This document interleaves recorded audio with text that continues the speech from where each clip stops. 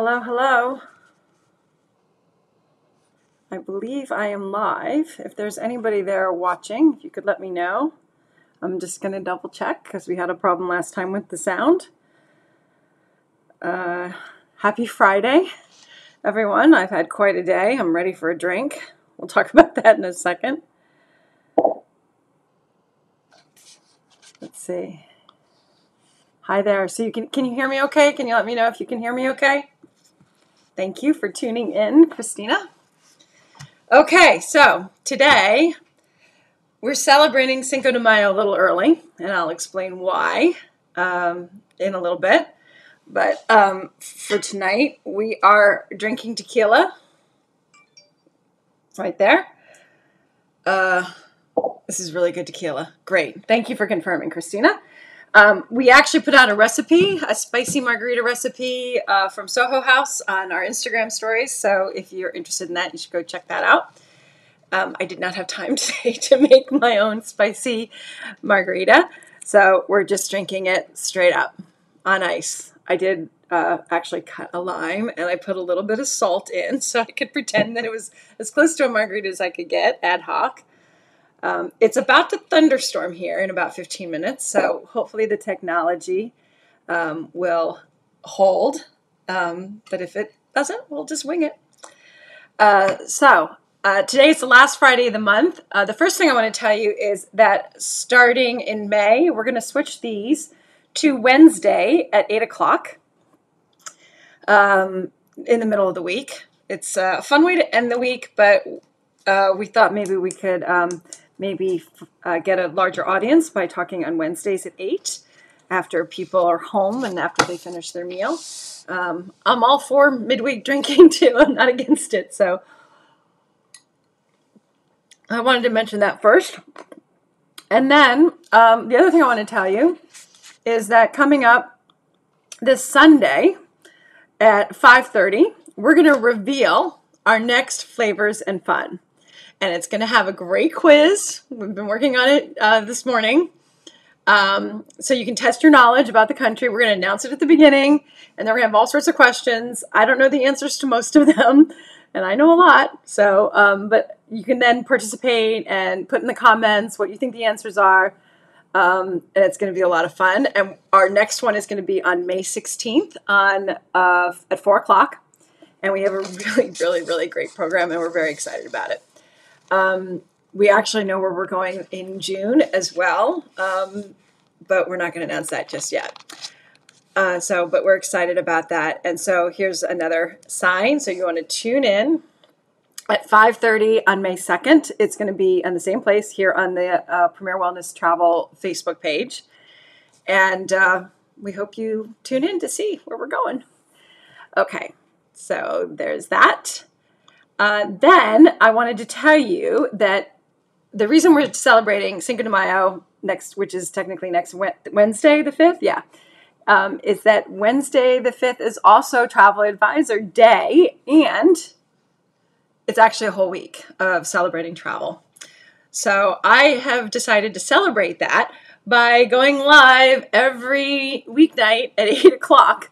So the Sips and Spotlights will actually return on May 12th uh, on that Wednesday. But next week, uh, Monday, Tuesday, Wednesday, Thursday, Friday, I'm going to be here. I'm going to answer any questions that you have, but we also have themes for each each night. So let me share with you what those themes are. The first uh, evening, we're going to be talking about travel after grief, loss, and languishing, and why travel restores. I don't know if you saw the article in the New York Times about languishing. It was a very interesting a piece that talked to, gave us a word for uh, a lot of the feelings and that we've been dealing with over the course of the um, pandemic. And um, so sort of focusing on that and the fact that there's been a lot of grief of all sorts um, not just loss of loved ones. I lost my dad at the beginning of all this but a lot of for a lot of us loss of identity um, loss of connections with other humans loss of jobs, loss of income, loss of dreams and hopes. I know somebody who had to postpone a wedding um, from this year to next. So there's just been a lot of loss and grief in the last year. and how travel is going to be going forward. Um, there's a lot of talk about revenge travel, and where you just want to run around and spend a lot of money and do everything that you couldn't do for the last like you know 14 months. Um, but there's another type of travel where you just go someplace and you just don't have to think. Um, maybe just sit on a beach and drink a margarita. So we're going to talk about that first because I thought that was really important place to start. Then on Tuesday night, we're going to then talk about COVID in general and how it's changed travel, how it's going to feel different and how it's going to work differently.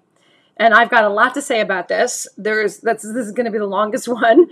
Um, but there's some specific points I want to share with you of what it means and what it's going to feel like and how travel will now be new and sort of what I call not the new normal, but the next normal. It's just going to be another evolution of travel and it's never going to be the same. And we're going to talk about that. Again, answer any questions that you might have about that. I'm sure a lot of people do have questions. Then, next, on the actual day of Travel Advisor Day, I'm going to talk about why we still exist and what we do. Um, dispelling some of the myths about travel advisors and um, and you know what people don't really understand what we do. One of the big myths I want, I want to dispel is that I have friends who say, "Oh, I don't want to bug you." no such thing as bugging me. This is my jam. I love talking about travel. I love helping people about travel. So it's a myth for you to think that you're bugging me if you're asking me for help with any aspects of travel. So that's just going to be my number one um, myth that I'm going to debunk. But tune in for more. I think I have nine. I'm still working on that one, so still outlining that. Then on Thursday, we're going to talk about the perks and privileges, privileges and perks of, of working with me and how not to leave money on the table. Um, mostly, this is me going to be sharing about what virtuoso is, what that means, how um, me being a virtuoso advisor gives you extra value. Um, I don't care how affluent you are, you, nobody likes to waste money and nobody likes to leave money on the table. So, we're going to talk about all the ways that I help you and all the uh, perks that I can provide to you uh, by working with w- working with me. And sometimes, if you know where you want to go and it's a virtuoso hotel, I'll I'll get you in there for free and VIP you. So you book, I VIP. It's, it's, it's silly not to use me. And then on Friday, I'm going to share some really exciting kind of stories about um, experiences that you can't plan even if you wanted to, even if you knew to and how I how it's how it is that I am able to give you um, access to experiences that again you can't do you can't you can't Google even if you wanted to. So um, there's a funny saying in the travel industry: when you go with the internet, you go with God. and I actually also saw um, Amy Klobuchar on the news this week. She's got a book out on monopolies, and she was talking about, as an example of monopolies, one of the ones she was talking about actually was um, internet um, travel companies are eating each other up. So if you think customer service was bad before, you just wait. It's not gonna it's not gonna get any better. We travel advisors are both more human and more humane than our computer counterparts. So uh, we'll talk more about that next week. Um, okay, so I think the theme for tonight was Mexican spa vacations, and I wanted to share with you um, a bunch of really, really special places in Mexico. Now, Mexico is technically open to Americans, and it has been, but it's also one of the ones I, that's been added to the do not travel list of the State Department. Now, some of that may change. Again, I, I think I spoke about this last week. The State Department and the CDC were not exactly on the same page. They were telling the CDC was telling Americans if you're vaccinated, you can go. And then a week or two later, the State Department said, well, we're adapting the CDC guidelines and we don't think Americans should travel to these countries. So that's sort of affected insurance in the travel industry. It's a little bit still of uh, a lot of confusion about that. Again, I do have access, if you know where you're going, I do have access to a special database that's uh, available to people within the industry where if you can tell me, you know, where you're from, where your passport's issued from, and that often does matter, and you want to know what it's like to go someplace, I can tell you uh, what the regulations are to get in, what it's like on the ground, and also um, what you need to get back and you do still, even if you're vaccinated, Americans still need a negative COVID test within three days of returning to the United States. So I am going to be talking about Mexico. You do need that test to come back. Um, you uh, can go, but the, the, they are on the do not travel list. So maybe this is still just something to dream about and not quite go yet. Um, but these are really, really special resorts. Uh, two of them are Belmond, which you know is very special to my heart. I'm a member of the Belmond Bellini Club, which means I can get you even more special things above and beyond being a virtuoso advisor. So, um, yeah, let's get started. Um, I just thought it was a good thing to talk about with uh, Cinco de Mayo coming up. Um, okay, so the first place I want to talk about is in Cancun. This place is called Nizuc Resort and Spa. Now, my sister actually has gone there. I have actually had lunch with uh, the salesperson from here. This is before COVID. We actually got together and um, I heard all about the property and it sounds absolutely fantastic. They have ancient Mayan ri- rituals. They have a beautiful, beautiful spot. This is a picture here of um, just part of the resort. And interestingly, they use gemstones and uh, algae and cacao powder in some of their treatments there. And um, it's in a part of Cancun that's away from the sort of um, college kind of places, college towns. It's kind of like down at the south, it's closer to the airport, and it's quieter. And they actually also do yoga on paddles, which I didn't talk about in my blog post, but they do that as well. So that's number one. Number two is in the Riviera Maya uh, this is the Belmond property there. We're going to be talking about two Belmond properties. This is the first. And at this one, they use um, Melipona bees in one of their treatments. They have antimicrobial microbial, um, properties that they use in a range of treatments. They obviously have yoga there. Um, it's a beautiful property. It's one that actually where you have can have a lot of privacy, and they have um, villas and, and, rooms with independent doors. Um, and obviously they have tennis and um, beach beach sports um, activities for the beach and water sports.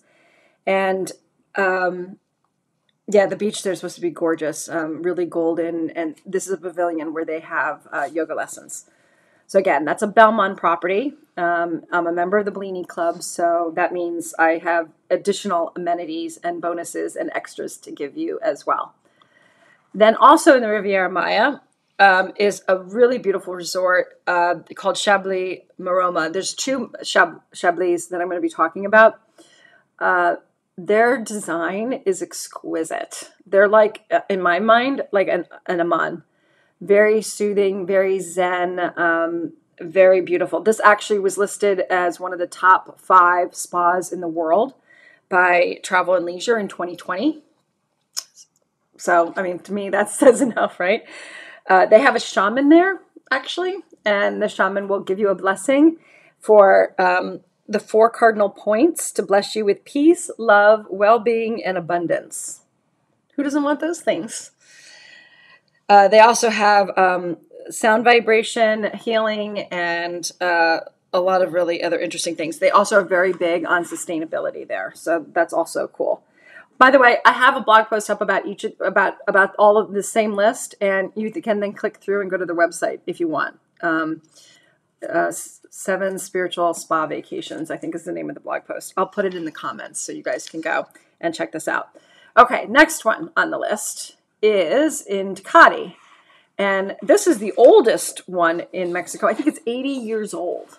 And it's called Rancho La Puerta. Um, they their spot is on four thousand acres um, with cacti and really ancient oaks. Sounds beautiful, right? Um, near the mountains and really a lot of diverse wildlife. You can have aquatic lessons as well there. They do cardio drumming. I don't know what that is, but that sounds interesting. Obviously, um, a lot of typical spa fare like uh, hot stone massages and such, but they also have something called biodynamic cranial sacral craniosacral therapy. Yeah. So after you do hours and hours of high energy activities, then you can just go and relax and get some pampering at the spa. This is, I think, just a beautiful image with the wisteria there. That's why I picked it to share with you.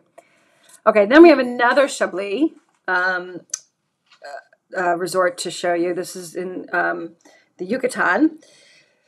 This is wholly integrated with its surroundings. And so there's a lot of indoor outdoor space at this place. Also, very, very beautifully designed, very zen, um, really gorgeous. They, the, they said that the hotel rooms um, actually seem to like be floating in the trees, uh, um, that you just feel like you're floating, you know, in, in the branches. Haven't been there yet. I actually got invited to go last November, but I was, I'm cautious. I, I was going to travel until I had my my COVID test, so I was not able to take advantage of that invitation, but I do hope to get there soon. They do have cooking classes here.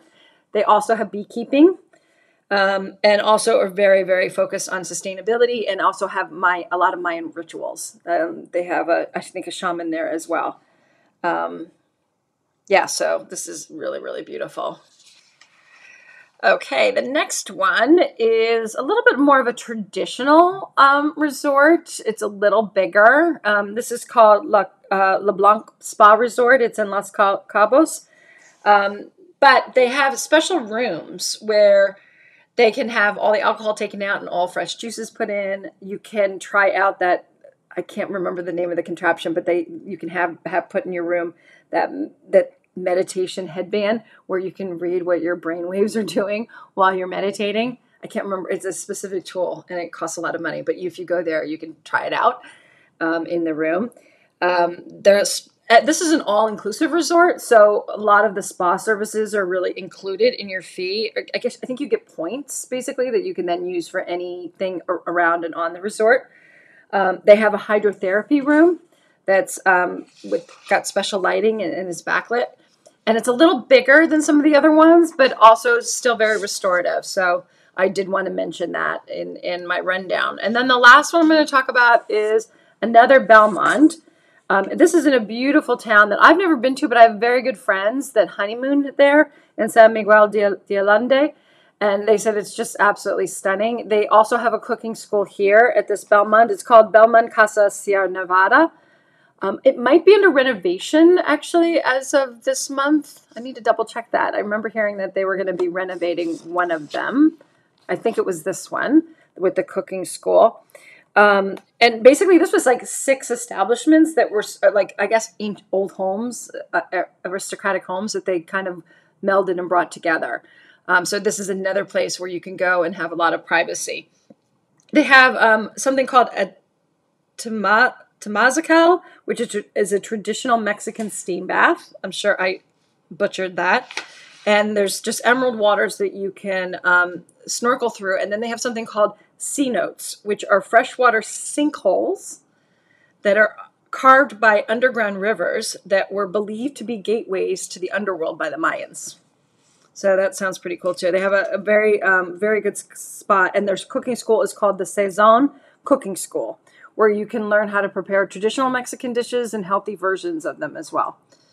So it's really tops for wellness. And again, Belmond, I'm part of the Bellini Club. You can get there and go there for free.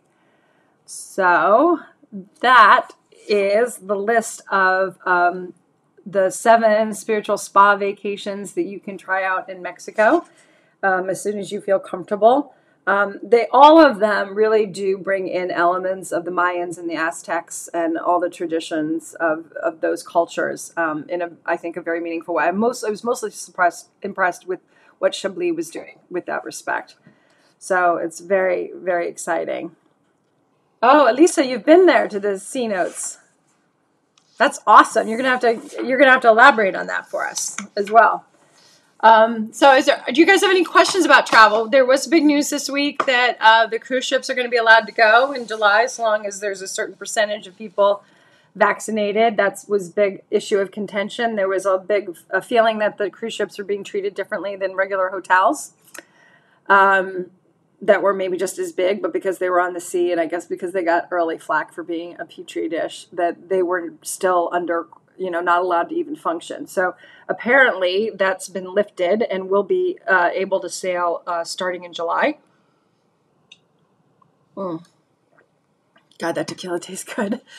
Um, so that's good news. Um, also, I should let you know that um, in conjunction with the big week next week, that I have a brand new website.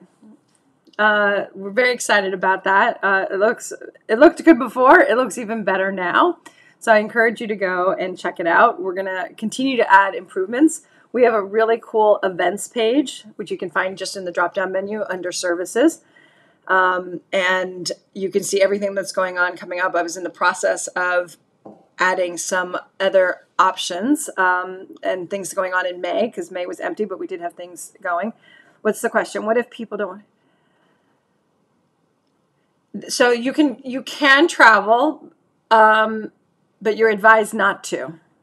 So nobody's gonna nobody's gonna stop you at the border saying you can't go.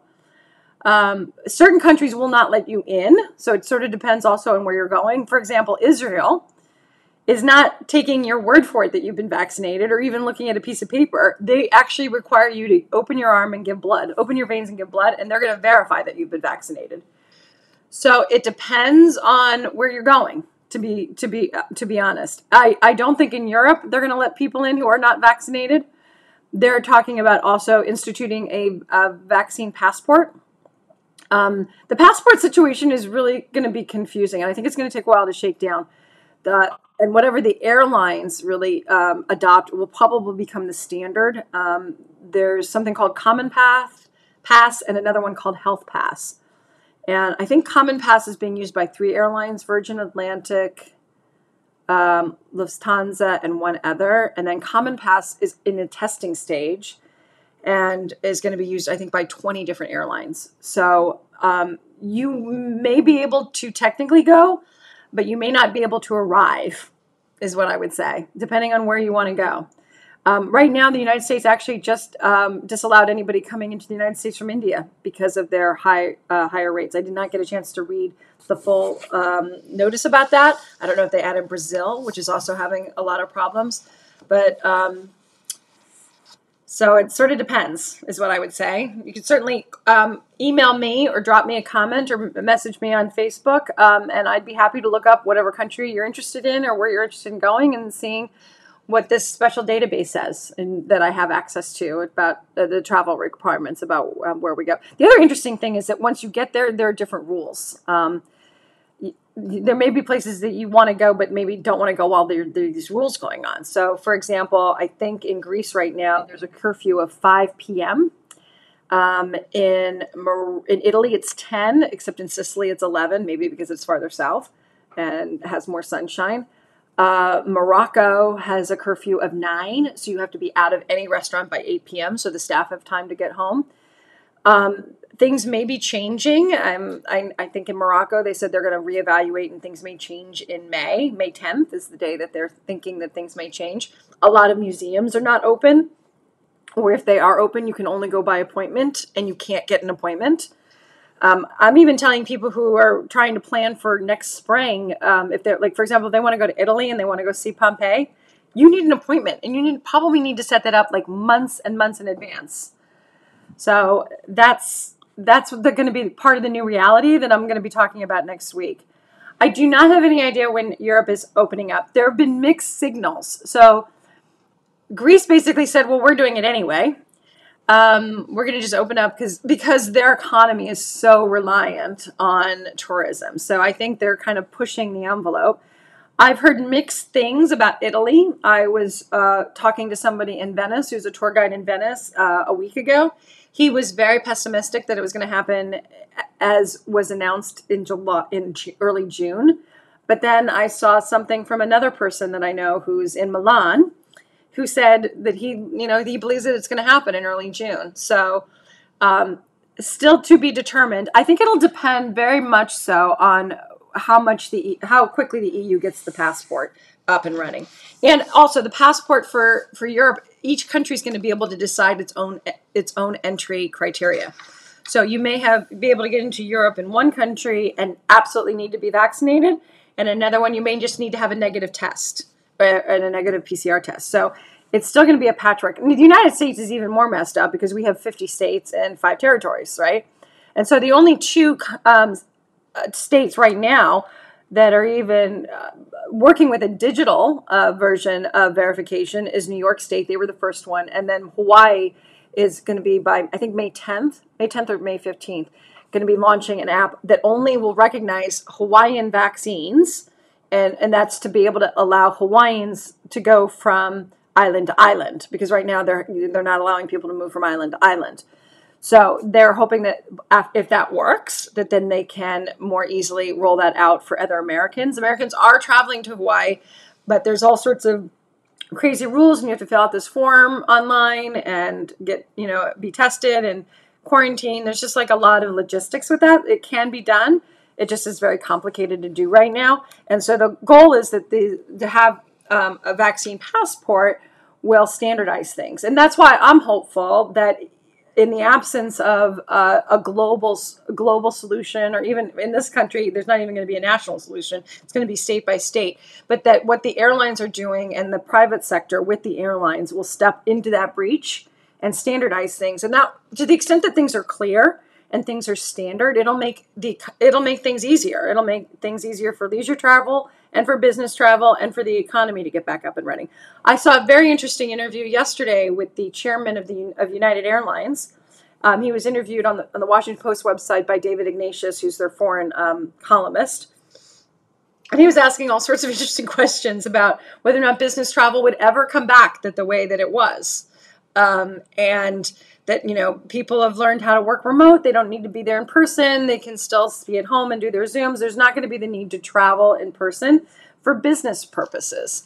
And united is of the opinion that that's not the case that uh, human contact is important still even in business.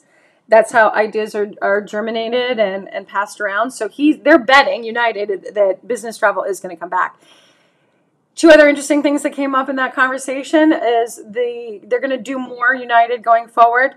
Uh, holding, you know, with connecting flights when they're um, delayed, when your incoming is delayed and then you miss your outgoing, there's going to be more flexibility. They're actually going to be more willing to hold planes so that when there are um, delayed passengers coming in from somewhere else, you know, into a hub, they will be more amenable to holding planes. Apparently, that's new. David Ignatius told a story about how frustrated he was. He was like basically banging on the gate door, but it was shut. And even though the plane was sitting there and still sitting there for 30 minutes because of air traffic control, he couldn't get his butt on the plane. So they're going to be more flexibility about that. And then he also talked about whether or not change fees are coming back. You know, I remember when they first instituted them, they were only 25 bucks. Now they're up to $200.